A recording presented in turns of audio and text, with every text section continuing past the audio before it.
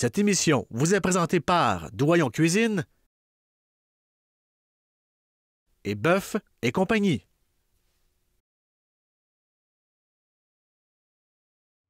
Alors bonjour et bienvenue à Au goût de chez nous. Aujourd'hui, on travaille encore une fois sur le barbecue et on va se lancer dans la grosse production. On va faire un méga burger de agneau avec du fromage bleu, une sauce aioli, donc à l'ail et au paprika fumé. On va incorporer dans cette sauce-là aussi la purée de piment rouge qu'on va faire griller sur le grill. Puis on va accompagner ça d'une gargantuesque montagne de légumes grillés avec une vinaigrette à la ciboulette, au basilic et au jus de citron.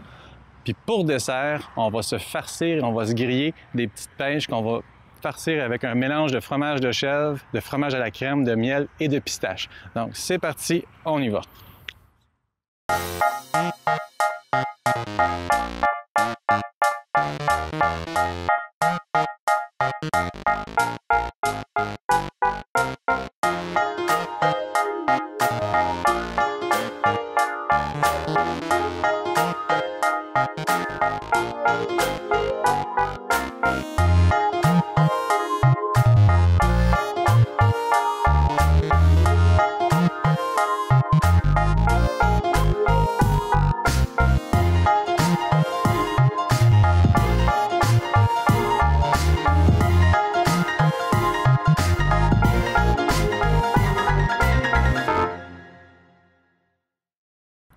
Première étape, on va commencer. Je vais préparer ma sauce aioli. Donc, je vais mettre un piment rouge à griller tout de suite parce que je veux qu'il soit bien noirci pour pouvoir que la peau s'enlève facilement. On va aussi profiter du fait que le grill est ouvert pour faire cuire notre bacon. Puis vu que le bacon est très gras, on ne peut pas le faire cuire directement sur la grille. Donc, on va utiliser une poêle qu'on va mettre sur le, feu. Donc, euh, puis on mettra nos piments à côté. On va laisser ça aller. Ça va prendre euh, quasiment 15 minutes. Pendant ce temps-là, on va préparer tous nos légumes pour faire notre salade de légumes. On va préparer notre viande pour faire cuire nos boulettes. Puis on va préparer également nos pêches pour la dernière minute. Aujourd'hui, contrairement à d'habitude, on ne commence pas par le dessert parce que le dessert se sert dernière minute. Donc, tout ce qu'on va faire, c'est préparer notre petit mélange avec notre fromage, le miel et les pistaches. Et à la dernière minute, on va faire griller nos pêches qu'on va farcir puis qu'on va servir immédiatement après. Donc, on va commencer par feu très élevé. Je vais allumer au moins trois sections pour avoir de l'espace pour travailler. J'ai une grosse poêle que je vais mettre directement sur le feu. Je vais étendre mes tranches de bacon dans la poêle. En fait, regardez, on va les mettre à l'extérieur du feu, puis on va les rajouter après, ça va être plus simple pour moi puis pour vous. Juste les disposer bien serrés dans le fond de la poêle. On n'aura pas vraiment besoin de s'en occuper, ça va cuire tranquillement dans son propre gras. Ça n'a pas besoin d'être brassé. On va essayer de garder les tranches entières parce qu'on va s'en servir pour garder notre hamburger tantôt. On va en avoir amplement. Un petit piment rouge. Je vais le mettre entier, ça ne fera pas beaucoup de purée une fois réduit. Je veux vraiment donner le goût du piment grillé euh, à notre sauce qui va vraiment rehausser le goût de l'agneau.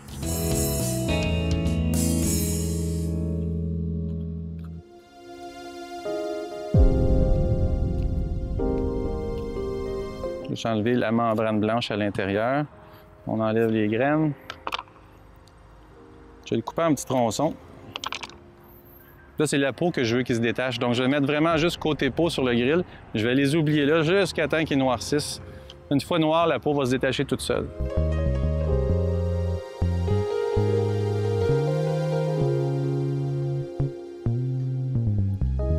Donc, ça c'est fait. On va préparer toute notre multitude de légumes. Puis là, j'en ai des légumes. J'ai des piments rouges, j'ai des poivrons jaunes, des poivrons rouges, des poivrons verts, pardon.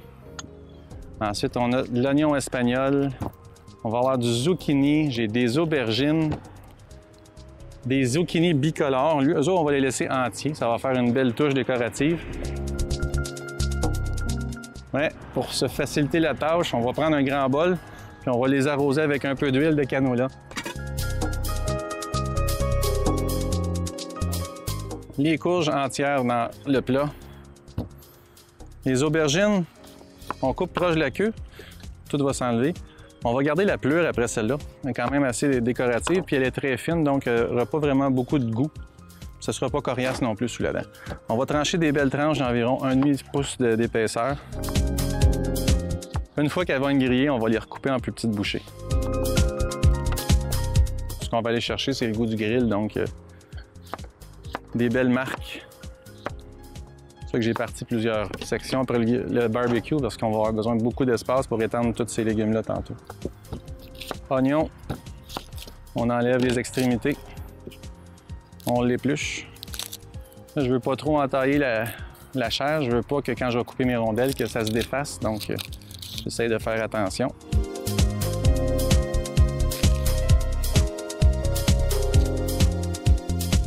Donc lui aussi, des grosses tranches, environ 1,5 pouce à 3 quarts de pouce d'épaisseur.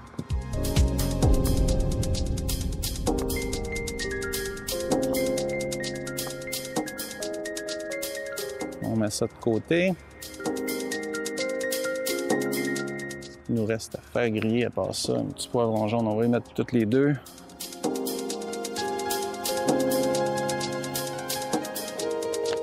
Un beau petit truc pour faire des belles tranches de piment. Vous enlevez la tête comme ça. Vous enlevez le fond. On coupe un côté. Et après ça, on va le dérouler. Vous avez une belle grande surface de poivron, facile à griller, facile à retourner.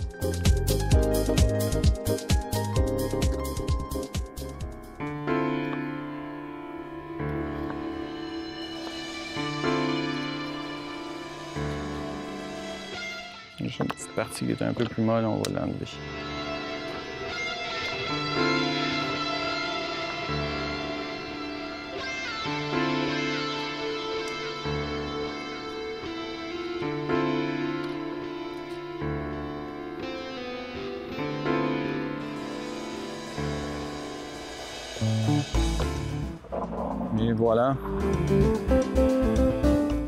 Sont encore bons. On peut les mettre de côté pour faire une autre recette où on aura besoin de couper des petits dés. Donc, une belle grande tôle. Je vais étendre les tranches. Je vais les badigeonner avec de l'huile de canola des deux côtés.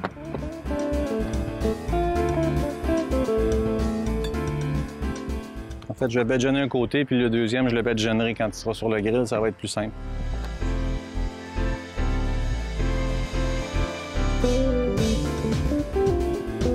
Eux, je vais les, arroser généreusement.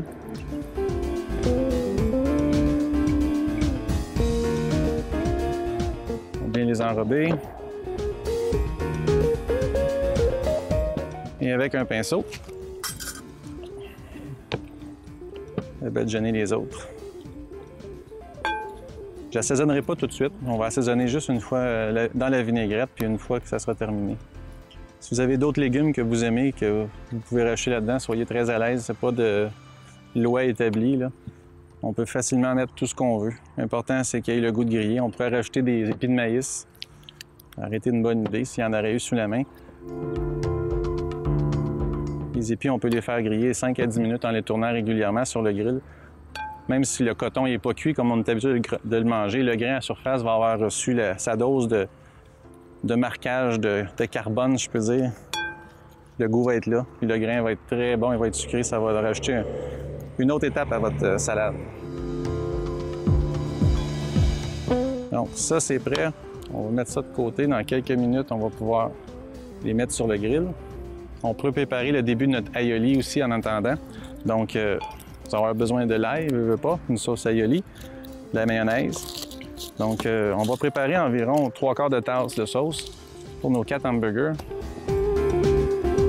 Avec ça, on n'aura pas besoin de plus que trois quarts de tasse. Ça va déjà être beaucoup. On va avoir besoin d'environ 4 à 5 gousses d'ail, exactement ce que j'ai ici. On les écrase. Plus facile de retirer la chair de l'intérieur. On mettre ça de côté. Les sauces aioli sont très relevées en ail, mais vous allez voir que l'agneau est une viande qui est capable d'en prendre. En plus, on va mettre une très bonne dose de viande, le bacon par-dessus ça. On va garder ça de laitue Boston, de tranches de tomates, puis euh, des super petits cornichons ici qui sont faits par mon amie Marie Normando, des Jardins Normando à Saint-Étienne. Elle fait des bread and butter, qu'on appelle en anglais, des beaux cornichons en français. Ils sont délicieux. J'en ai mis dans mes hamburgers la semaine dernière. C'était. Alors, je partage ça avec vous autres. Je vais la couper grossièrement parce qu'on va la mélanger au robot, euh, au pied mélangeur. Ça va être plus facile tantôt avec la purée de poivron rouge de réduire en purée lisse avec le pied mélangeur. Donc, grossièrement, on met ça de côté. On va préparer notre tasse. On va y déposer notre mayonnaise tout de suite, ça va être fait. Donc, mayonnaise. On va mettre l'ail tout de suite. Là, ça, on va rajouter une bonne cuillère à soupe de paprika fumé piquant. Pas n'importe lequel. Il y en a du fort, il y en a du doux. Le paprika, c'est une poudre de poivron finalement qui a été séchée puis réduite en poudre. Euh, Ceux-là, ils ont été mis dans un fumoir, donc c'est ce qui leur donne un goût de fumée. Euh, il existe différentes sortes de poivrons. Il y en a des plus forts, comme la cayenne. Donc, euh, c'est comme un piment de cayenne finalement qu'on a fait sécher au four euh, dans un fumoir puis qu'on a ensuite réduit en poudre. Donc, vous avez le petit goût de fumée qui est très agréable, qui va très bien avec le barbecue. Puis en plus, vous avez le côté piquant très relevé, que- classique au piment cayenne. Je vais regarder un petit peu mes, mes poivrons. Je veux vraiment être sûr, ils sont vraiment bien carbonisés, comme vous voyez. Normalement, la peau devrait s'enlever toute seule, mais je vais les laisser un petit peu. Il y a des côtés qui ont encore besoin de... L'a coté sur ma poêle ici. Un petit truc quand on va enlever la peau après les poivrons. Quand ils sont bien grillés, la peau se détache naturellement toute seule. Sauf que si je l'enlève directement du grill, je vais peut-être avoir de la misère. Ce qu'on va faire, c'est qu'on va les mettre dans un contenant. Je vais couvrir le contenant. Si j'avais une pellicule plastique, je mettrais un saran. Là, j'en ai pas, je vais juste déposer une assiette sur le couvert. La condensation puis la chaleur va faire que l'humidité va l'aider à se détacher encore plus, donc ça va être plus facile à défaire. On va également préparer notre vinaigrette pour notre salade de légumes. Je vais juste déposer les petites courgettes dans ma poêle, avec, dans ma tôle avec tous mes autres légumes. Je vais conserver cette bolle-là pour faire mon mélange. On va avoir besoin de moutarde de Dijon. Une moutarde de Dijon qui est toujours présente dans toutes les sortes de sauces qu'on peut faire, surtout pour les salades, les salades froides. Ça a un goût complexe puis ample là, qui couvre toutes les papilles gustatives. C'est bon, c'est piquant puis c'est complet. C'est un bon goût complet. Donc, moutarde, on va mettre un petit peu de sel. OK, beaucoup de sel. C'est des légumes, ça contient beaucoup d'eau, un petit peu plus de sel nécessaire dans ce cas-là. On va mettre du poivre également, une bonne dose. Là, on va rajouter les herbes qu'on a le goût d'avoir. Aujourd'hui, j'ai du persil frais. Je vais en profiter. Un petit peu de persil haché. Je vais hacher ça grossièrement. Côté un petit peu rustique. Je dépose directement dans la vinaigrette. Ça va infuser en même temps avec l'huile, ça va donner une bonne saveur.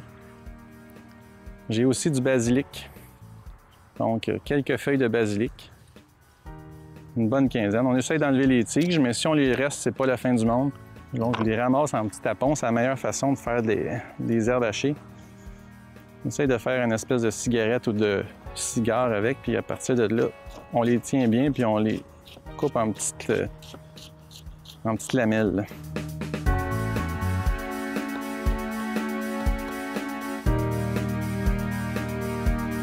Déposer ça dans la salade, dans le bol à salade. Mon épice fétiche, la ciboulette. Basilic et ciboulette, en fait. Menthe, basilic, ciboulette. En même temps que c'est une herbe, j'aime ça. Beaucoup de fraîcheur, on va en mettre.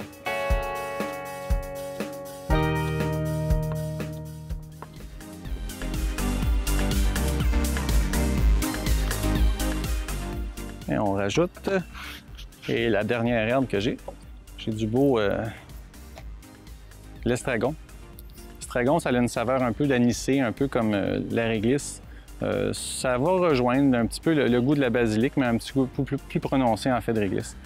Ce qui est le fun avec euh, l'estragon, c'est que quand on a une belle branche comme ça, on a juste à saisir la tête. À peu près toutes les herbes se défont de la même façon, mais vous avez juste à saisir la tête puis à glisser par en bas. Toutes les feuilles se détachent. Donc, vous n'avez pas besoin de vous battre très longtemps avec une tige de- d'estragon. Même chose, je tiens le bout, je tire par en bas, toutes les feuilles se détachent. Là, on peut compter euh, un bon 2 cuillères à soupe d'herbe euh, de chaque sorte. Il va tellement avoir de légumes que ils seront pas de trop.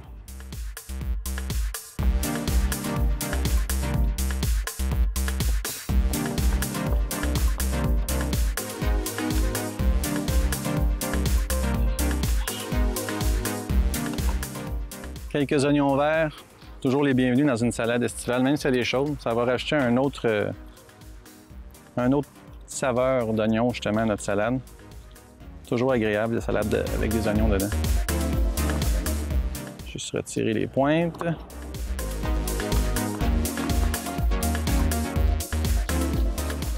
On coupe en petites rondelles, puis on va garder le feuillage vert aussi.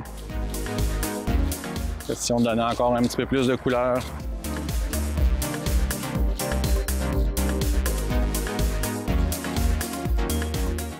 Voilà. On va y mettre tout de suite. Eux autres, ils n'ont pas besoin de cuisson.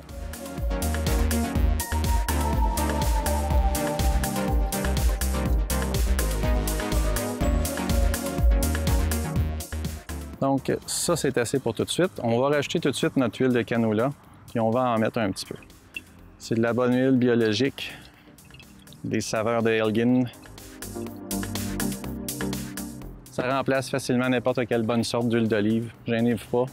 Disponible à la fromagerie Le Ruban Bleu à Mercier et quelques autres endroits. Vous pouvez visiter leur site internet, sans doute qu'ils ont toutes les informations.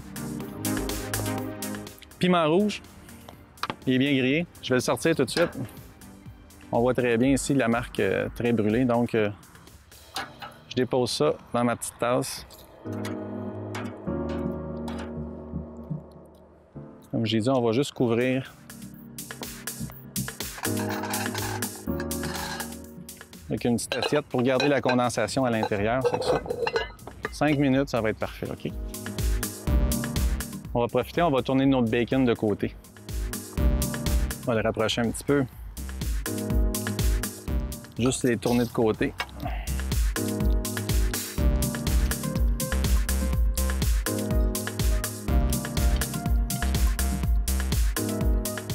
On va le remettre sur le feu. On va leur laisser là encore un bon 10 minutes.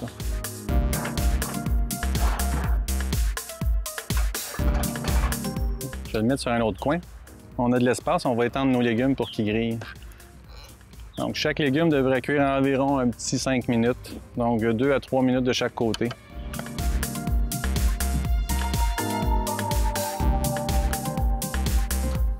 L'aubergine, quand ça cuit, ça a tendance à devenir très mollasse. Donc, on va juste essayer de faire cuire, disons, trois quarts pour qu'il y ait encore un petit bout de, de, de chewy, si je peux dire.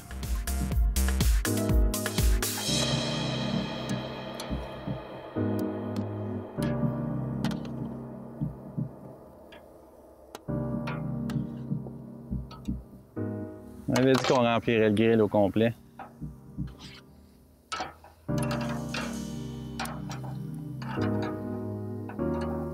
On va l'aider à garder sa chaleur un petit peu. Je vais ajouter à côté le, le couvercle sur la poêle.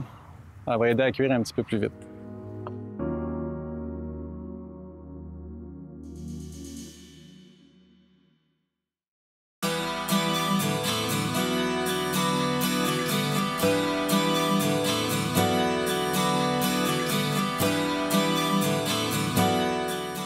Fromagerie Chaput, euh, ça existe depuis euh, maintenant euh, plus de 12 ans en tant qu'entreprise fromagère qui fabrique des fromages.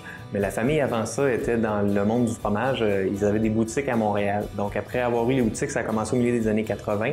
Euh, les frères, en fait Patrick Chaput et son frère Pierre-Yves Chaput, ont eu l'idée de commencer à travailler le lait et à produire leur propre fromage.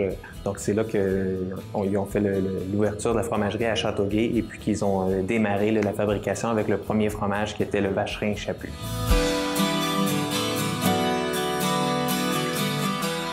La raison pour laquelle on est venu s'établir à Châteauguay, la famille, c'est que toute la famille vient de Châteauguay. Alors, euh, Patrick a une maison, euh, lui, à Léry, depuis maintenant euh, 20, 30 ans. Ça fait très longtemps qu'il est installé là-bas. Et puis, son frère aussi avait une maison dans la ville de Châteauguay. Alors, c'est vraiment la région. Et puis, euh, l'opportunité était là. Et puis, c'était important pour eux aussi de rester euh, près de chez, eux pour euh, vivre une vie intégrée. Tu sais, le travail à proximité de la maison pour pouvoir intégrer les enfants éventuellement, puis avoir une belle qualité de vie. Oui, la fromagerie euh, Chaput, c'est une entreprise familiale. Euh, il y a une seule exception et c'est moi parce que je suis marié avec euh, Marie-Laurence Chaput, qui est la fille de Patrick, le fromager. Euh, autrement, Euh, il y a le fils de Patrick qui s'appelle Jérémy Chaput. Euh, Marie-Laurence, euh, ma conjointe, elle s'occupe de toute la production, la gestion des employés, l'inventaire, l'affinage. Alors, elle a un rôle de coordination très important. Et puis moi, ben, je suis le gendre de Patrick. il est venu me proposer d'entrer dans l'entreprise. Je m'occupe des ventes. Donc, c'est vraiment 100% familial. Euh, c'est sûr que nos produits sont disponibles un peu partout au Québec. Euh, notre principal débouché, c'est euh, les restaurants. Alors, on a la chance de travailler avec une cinquantaine de chefs partout dans la province. C'est sûr qu'on est près de Montréal aussi, donc ça nous permet d'aller livrer au restaurant plusieurs fois par semaine selon leurs besoins. On travaille aussi avec certaines boutiques c'est sûr que là, c'est toujours un défi hein, de se faire une place sur les tablettes, mais on trouve de nos produits un peu partout aussi. Euh, il y a IGA qui nous a fait une belle place dans le cadre d'un programme réservé aux produits du Québec. Alors, on a trois produits qui sont dans les IGA. Ça, c'est partout dans la province. Et finalement, ben, on s'implique beaucoup avec des organismes qui font des activités de financement, des levées de fonds, que ce soit des vins et fromages ou on a aussi un concept de, de boîte cadeau euh, qu'on offre à ces gens-là. Donc, ça, c'est quelque chose euh, qui fait partie de nos débouchés.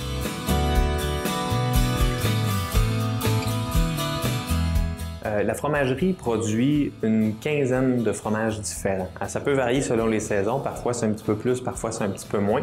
Euh, ce qui est important, ce qui nous distingue beaucoup, c'est que c'est des fromages fabriqués à partir de lait cru. Alors, c'est du lait qui n'a pas été pasteurisé.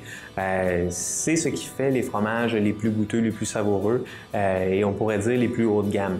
Euh, les fromages qu'on produit, il y en a autant de lait de chèvre que de lait de vache. On fait des fromages à croûte fleurie comme les brie. On fait des fromages vieillis pendant six mois, un an. On fait des fromages cendrés. Alors, on s'amuse beaucoup. On a un fromage bleu qu'on a lancé l'année dernière qui s'appelle le Sacre Bleu. Alors, on touche vraiment toutes les familles de fromages. Et puis, c'est un petit peu euh, le plaisir du fromager, justement, d'avoir toute cette variété-là. Et puis, c'est ce qui fait que nos clients apprécient et travaillent avec nous, c'est qu'on est capable de leur offrir une belle palette. De la variété et toujours avec des fromages qui se distinguent, des fromages qui un peu plus d'expression, un peu plus de profondeur. Oui, on parle souvent euh, du local. C'est un mot clé qui est à la mode ces temps-ci, acheter local. On voit qu'Aliment Québec fait beaucoup, beaucoup de promotions euh, pour promouvoir que ce soit les fruits les légumes ou les fromages d'ici. Euh, pour nous, c'est important. C'est sûr que pour que les gens recherchent ça, des produits qui viennent de leur région, on s'en rend pas compte. parfois, les gens sont un petit peu déconnectés. On va à l'épicerie, on ne sait pas d'où viennent les aliments qu'on consomme. Donc, pense que c'est très important que les gens encouragent les, produits de la région parce que c'est sûr qu'on peut parler des choses qui sont évidentes. On va dire ça crée de l'emploi. Nous autres, à la fromagerie, bon, on parvient à en vivre. Mais c'est vrai, mais c'est d'autant plus vrai que derrière nous, il y a aussi des producteurs laitiers. Autour de ça, il y a des gens qui vendent de l'équipement, de la machinerie, il y a des emballages pour les fromages. Alors, ça fait vraiment travailler le Québec. Alors, ça, c'est très important. Et puis, c'est toujours agréable. Nous, on a la chance de travailler notamment avec des restaurants de la région, comme au bout des saisons. Euh, c'est des, relations qui sont merveilleuses parce que là, c'est des chefs de la région qui viennent chez nous chercher leur fromage que nous, on a produit avec des, ressources de la région. Et puis, c'est des gens de la région qui s'en vont manger chez lui, qui apprécient sa cuisine, qui apprécient nos fromages par le fait même. Donc, je pense que le côté local, c'est quelque chose qui va être de plus en plus important. Et euh, les régions, la belle région de Châteauguay a des choses à offrir. Et puis les gens, je suis content qu'ils commencent à en profiter.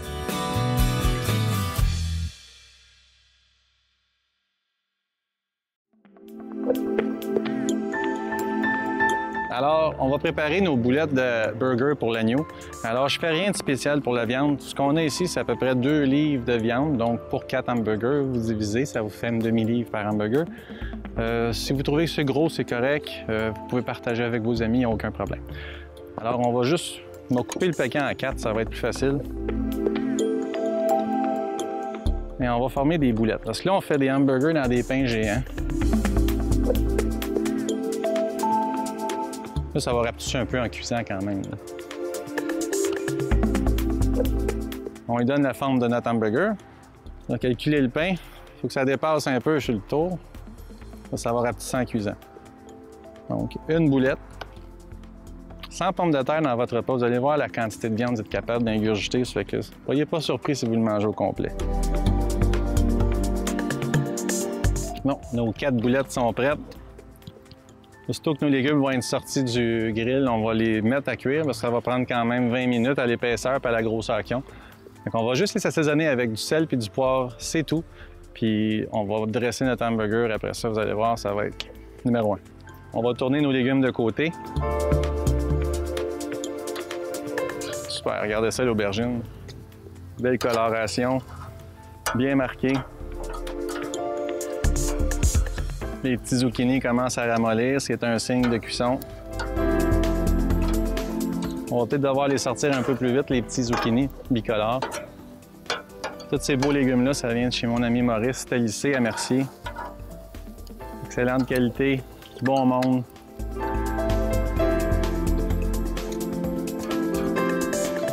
Les poivrons sont bien marqués.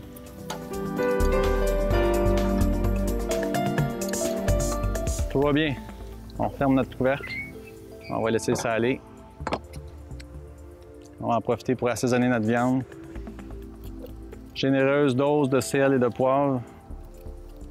Il y a beaucoup de viande là-dedans. Capable d'en prendre.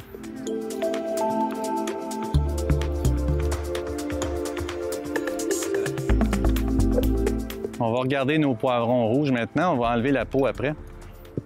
Ils ont tombé, dans le fond, ils ont vraiment ramolli. Fait qu'avec un petit couteau, ce qu'on va faire, c'est on va retirer la peau. Juste les comme ça. Puis ça s'enlève tout seul. Presque tout seul.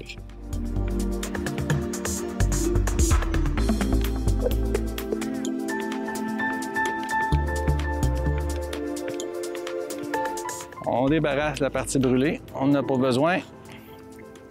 Je vais la couper en plus petits morceaux, juste pour que ça soit plus facile à passer dans notre pied mélangeur. Quand tu entends ta viande cuire, c'est parce qu'il faut que tu regardes. Notre bacon semble bien vouloir dire je suis prêt. Donc avec du papier essuie-tout absorbant, juste le déposer dans une assiette.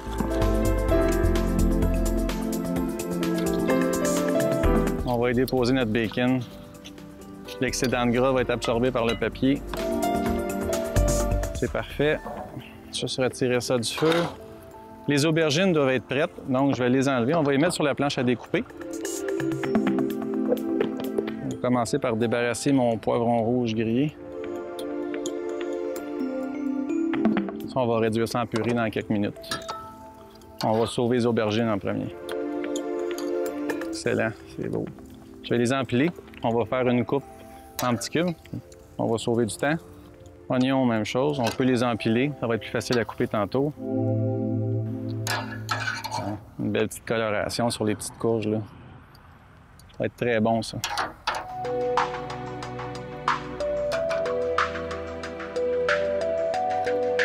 Et voilà. Je vais mettre juste un petit peu d'huile sur ma viande avant de la faire griller.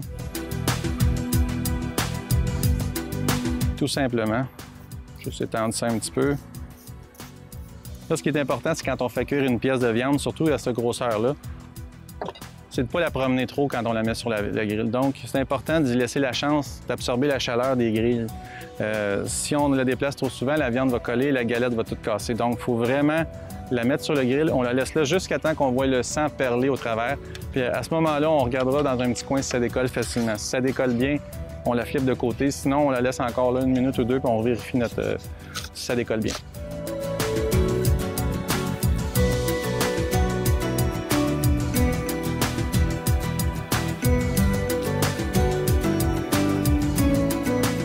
Je laisse aller. J'y pense plus. Ou presque. On va finir notre sauce aioli, donc avec un pied mélangeur. On va réduire notre et notre ail en purée.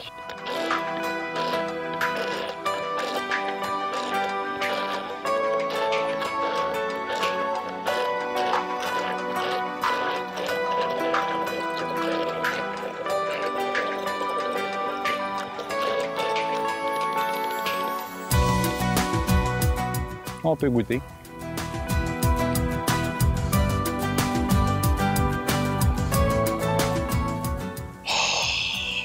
Je vois une plante sortir là. Très bien relevé. Ça va être parfait pour notre burger à l'agneau. Avec l'épaisseur de viande qu'on a, ça va juste arriver à un bon niveau de, de chaleur. Puis je vais aller fermer le couvercle. Ça va l'aider à cuire plus rapidement. Pendant que ça cuit, on va vous présenter le fromage, le sacre bleu. Le sacre bleu, c'est un fromage de chèvre bleu de la fromagerie Chaput à Châteauguay.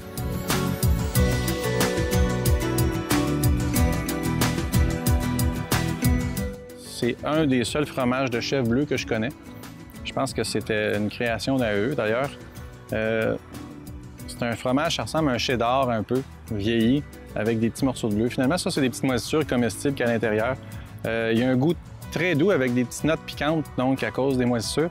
Ça va super bien avec l'agneau. Ça va aller très bien avec tout ce qu'on y rajoute aussi. Et c'est un fromage qui est quand même capable d'affirmer sa présence parce qu'il est goûteux. Donc, on va le couper en petites tranches minces. En fait, on va couper environ un huitième de pouce, puis on va déposer chacune des tranches. Une fois qu'on a retourné notre viande, on va la laisser cuire un 2-3 minutes, puis on va lui donner la petite chance euh, de fondre en rajoutant le fromage par-dessus. Donc, allez-y pour euh, environ ça, un huitième de pouce. On va en couper huit petites tranches comme ça. Parce qu'on va en mettre deux par, euh, deux par hamburger.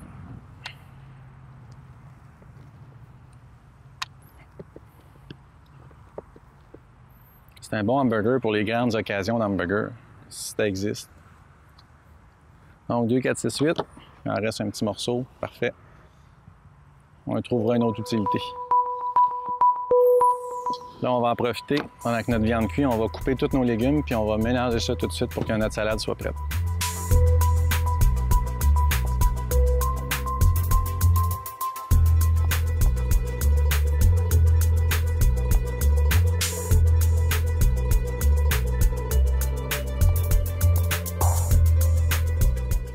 Toujours nos légumes avec le dos de notre couteau. Je le répète jamais assez. Même chez nous, ça l'empêche d'enlever le fil tranchant de notre couteau, donc fait que nos couteaux sont plus tranchants plus longtemps. Aubergine. C'est très mou l'aubergine, hein? très, ça fait un peu purée. Donc, je vais mettre mes légumes dans le bol, mais je les brasserai pas tout de suite. Je vais attendre la dernière minute. Ou si je les brasse tout de suite, je vais le brasser légèrement pour pas que ça se retrouve avec une purée de légumes au fond de notre bol.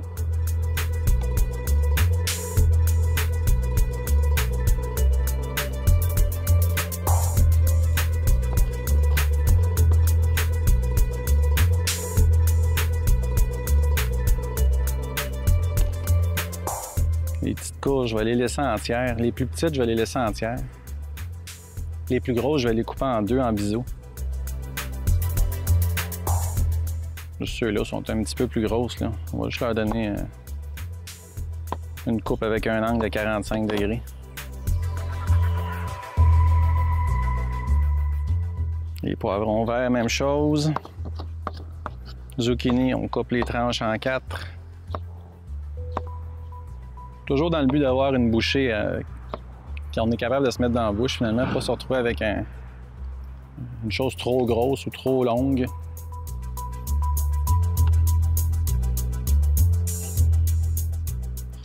On va regarder notre viande deux petites secondes.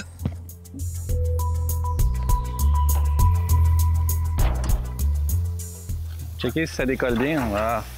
Du temps. On vire.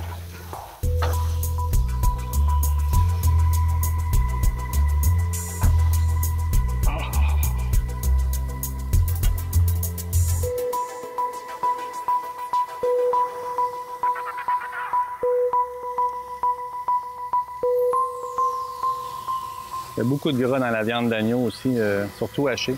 Donc, euh, c'est ce qui fait qu'il y a des flambées comme ça en ce moment. On peut les laisser là. Si on voit que ça flambe vraiment trop, on les déplace un petit peu. euh, ben là, on vient de les tourner, fait qu'on ne les déplacera pas tout de suite, on va attendre. Dans quelques minutes, ça devrait être assez bien saisi, surtout à la chaleur de flamme qui sort de là. On va pouvoir les déplacer, puis on va donner une chance de cuire jusqu'au centre, bien cuit.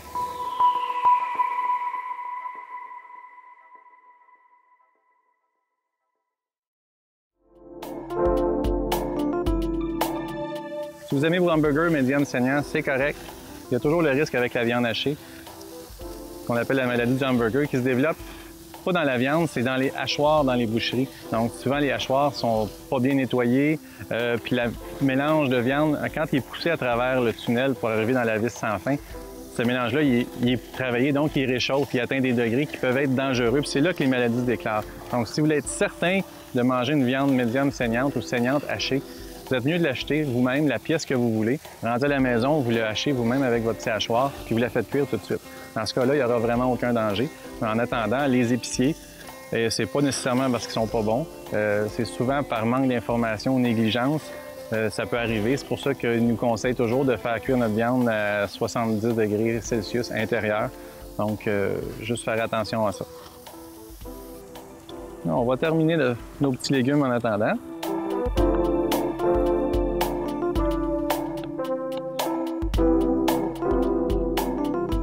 Et voilà. J'avais aussi des petites tomates cerises. Je vais les laisser entières. Je vais les mettre sur le grill juste pour les faire changer de couleur, faire éclater la peau, puis on va les mettre dans notre salade aussi. Ça n'aura pas besoin de beaucoup de temps. Ça va faire du jus. De se mélanger notre vinaigrette, ça va être très bon. Donc, nos légumes, tantôt, j'ai mis du sel et du poivre dans la vinaigrette, mais je vais quand même en rajouter par-dessus parce qu'il y a vraiment beaucoup de légumes. Ça fait vraiment beaucoup d'eau. Donc, juste en rajouter un petit peu à la surface, sel et poivre. On va hacher de l'ail aussi, une ou deux gousses, puis on va le rajouter par-dessus ça.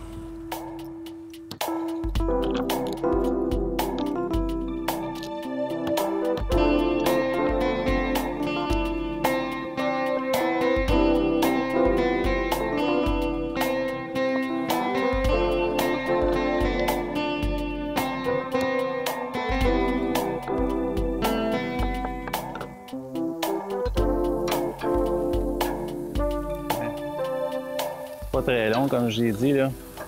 La peau grise, elle se détache tout de suite de la chair, donc c'est vraiment pas long. C'est juste question de les réchauffer puis de leur donner un petit goût de, de carbonisé, si je peux dire. Et l'ail dans notre salade.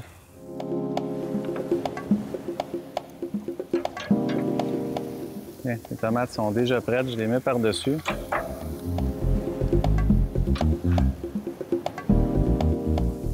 Délicatement, on va la brasser tantôt, vraiment délicatement. Bon, je vais regarder un petit peu, là, ça a l'air. C'est pas trop brûlé, on va juste les changer de place pour essayer de déplacer la flamme un peu. C'est bien rare, je vais vous dire, de faire ça. Mais un hamburger, on peut le faire cuire d'un côté. Un coup qu'on l'a reviré, d'habitude, on tourne pas une viande plus que deux, qu'une fois. Donc, euh, parce qu'on a amené la, chaleur du grill va apporter, à pousser le sang vers la surface. Donc, on le pousse vers la surface. Au moment de tourner, bien, la viande, le sang veut remonter vers le centre, puis là, il rencontre un mur de, saisie, finalement, de la viande qui a cuite. Donc, le jus respire à l'intérieur. Sauf que quand on veut rajouter un fromage par-dessus, puis que le jus réussit à ressortir pour la deuxième fois à la surface, euh, ça va se mélanger avec notre fromage, puis ça va faire qu'il va glisser à côté de la viande, puis ça va faire qu'il collera pas bien. Fait que, dernière minute, on va le retourner une deuxième fois, on va mettre notre fromage à fondre, on va fermer le feu, on va juste fermer le couvercle pour que la chaleur ambiante fasse fondre le fromage. On va, faire on va garder une petite section ouverte pour faire griller nos pains, puis on va être rendu à dresser les hamburgers. On va se préparer des petites feuilles de laitue tout de suite. Donc, on va juste comme faire un pré-dressage. Quatre hamburgers, quatre petits tapons de laitue. J'utilise la Boston ici. On, aurait pu utiliser de la roquette euh, qui a un petit goût poivré, qui fait différent. Mais il y a tellement de saveurs déjà dans notre hamburger.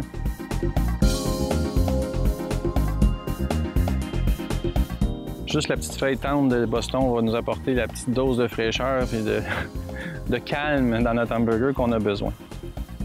Donc avec vos tomates, on va faire des belles tranches.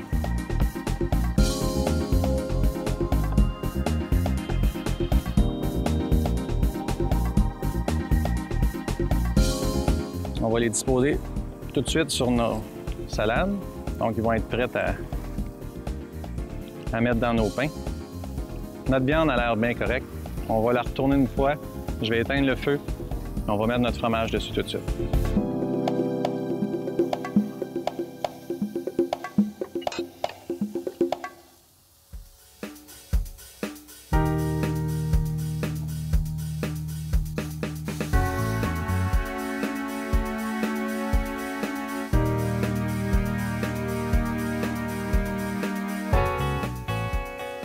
Côté du grill, on va faire griller nos pains. On fait grouiller juste un côté. On n'a pas besoin que le côté visible soit marqué, mais on voudrait qu'il y ait un bon petit crunchy à l'intérieur, donc on va juste les mettre euh, quelques secondes.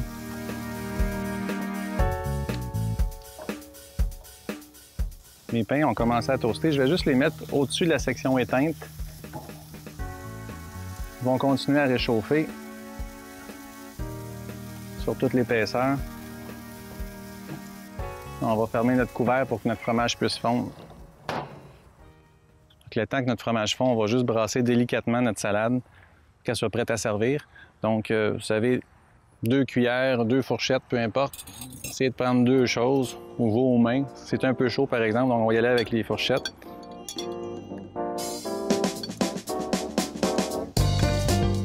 Juste prendre le fond puis le ramener sur le dessus. Lui, il trempe déjà dans la vinaigrette depuis un petit bout de temps.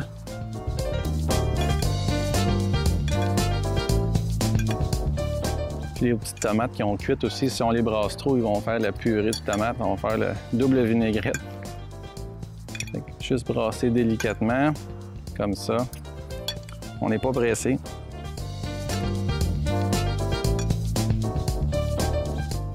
Voilà, montagne de saveur. Les pains doivent être prêts.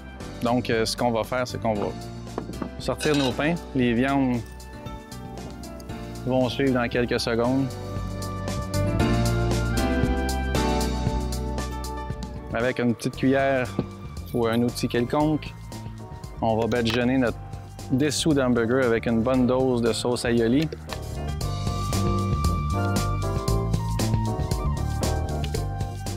Sur le dessus, je vais mettre les bread and butter, les bons pickles, cornichons de mon ami Marie.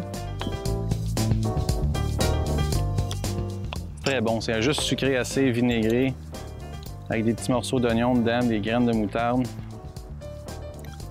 On en garnit le haut.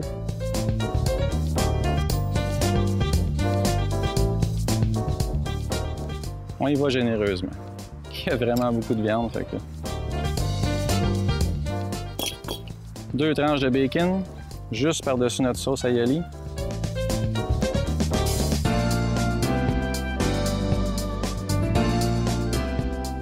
Le coup de grâce. Notre demi-livre d'agneau. J'avoue qu'il y en a un qui est un peu plus petit, donc il y en a peut-être un qui est un peu plus qu'une demi-livre. Ah. Ça, c'est le mini. On voit bien que le fromage de chèvre est bien fondu. Vu que c'est un fromage de chèvre, il garde toujours cette propriété d'élasticité-là qu'on connaît au fromage de chèvre. C'est un petit peu comme les fromages suisses ou euh, emmental qui ont, quand ils fondent, ils ont tendance à devenir très élastiques et à se tenir un peu. Le fromage de chèvre fait la même chose. Donc, on va rajouter nos tranches de salade et de tomates sur chacun.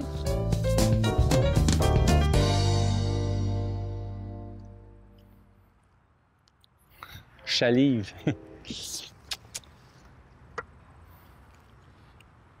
Et rapidement, on referme le tout. Puis là, on fait la squeeze. Un petit hamburger. Un autre petit hamburger. Un énorme hamburger. Et un gros hamburger. C'est comme un burger party. C'est le temps de sonner le crochet. Le triangle qui appelle tout le monde à table croquer à belle dent. Puis là, juste pour la forme, regardez bien ce qu'on va faire. Faut le montrer, ça vaut la peine. On va trancher ça en deux. Là, si vous avez des cure-dents, c'est parfait, c'est comme un club sandwich. Juste voir à l'intérieur toutes les couches qu'on a. Aioli, bacon, viande, fromage, salade, tomate, petit pickle. Ça prend un grand garage manger ça, mais je suis certain qu'on est capable. Le moment de grâce. Slow motion.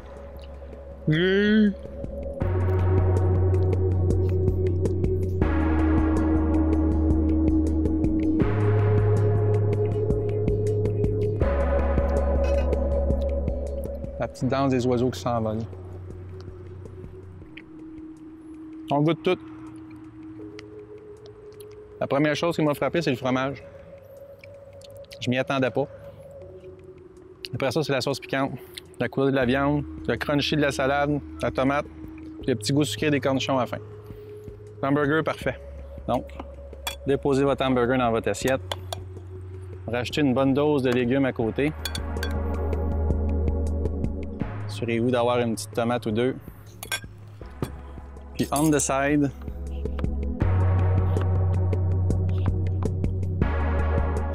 un beau gros quartier de citron. Les gens vont pouvoir doser l'acidité à leur goût.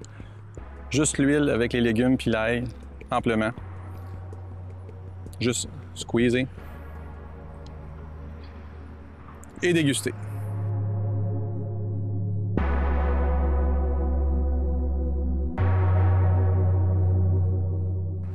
Bon appétit tout le monde. On revient dans deux minutes. On va faire les pêches grillées avec la petit glaçage au fromage de chèvre, fromage à la crème et miel.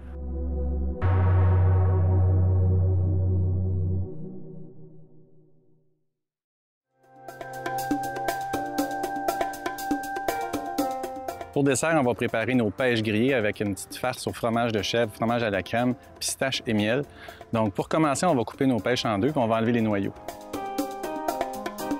Vous pouvez calculer une pêche par personne. Les pêches devraient être mûres, mais ils peuvent juste sur le bord d'être mûrs. Il faut qu'ils restent quand même assez fermes, sinon on va avoir de la misère à les faire euh, griller. Ils vont s'écraser sous la grille. Donc avec un petit couteau de fils, tout ce qu'on fait, c'est qu'on coupe et on tourne. On fait un quart de tour pour détacher la chair du noyau. Donc on va avoir des moitiés de pêche comme ça. Avec le petit couteau, on essaye de détacher le noyau.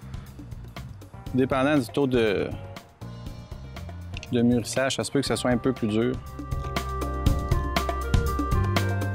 C'est pas grave, si on magané, on va mettre une montagne de petits fromages tantôt par-dessus.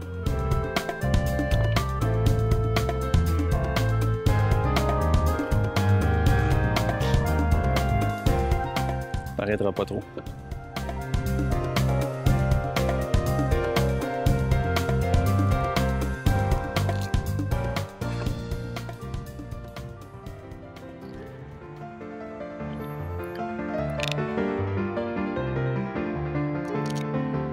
Et voilà.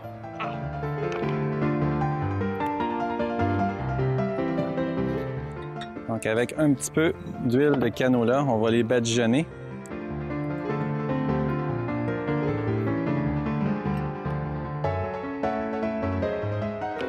On va les déposer sur le grill.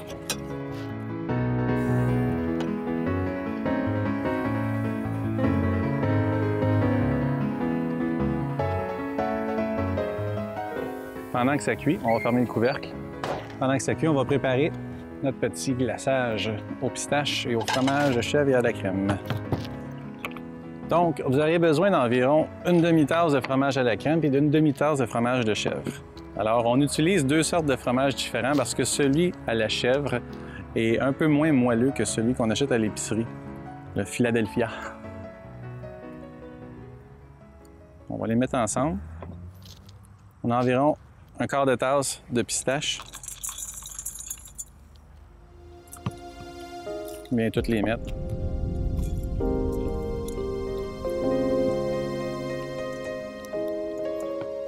On va juste bien amalgamer tout ça. On va rajouter un petit filet de miel, un petit filet, juste pour sucrer ça un petit peu. On brasse bien.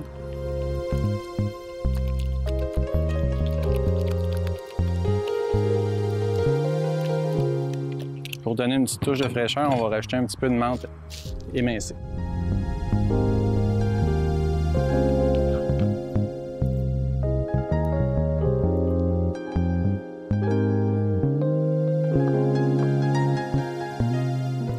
On va couper ça très finement.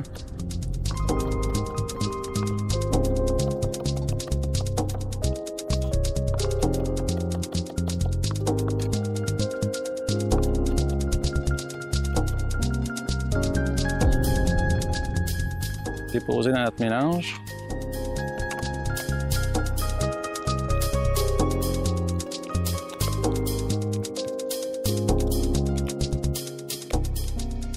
On goûte. Un petit croquant, un petit sucré et un petit crémeux. Ça va être parfait pour remplir la pêche. On va les tourner de bord en passant.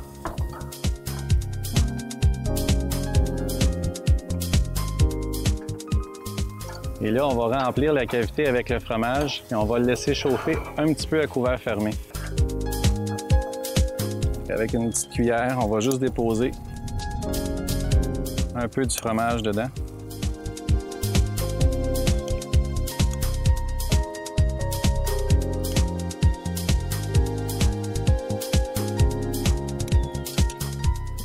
Je ferme le couvert pour environ une minute maximum. Ensuite, on va les dresser sur une assiette. Alors, ça fait une petite minute, une minute et demie peut-être qu'on a laissé nos pêches. Je vois que le jus de la pêche bouille à l'intérieur de la peau. On va les sortir de là. Le fromage va avoir eu le temps de réchauffer. On va juste les déposer sur une petite assiette.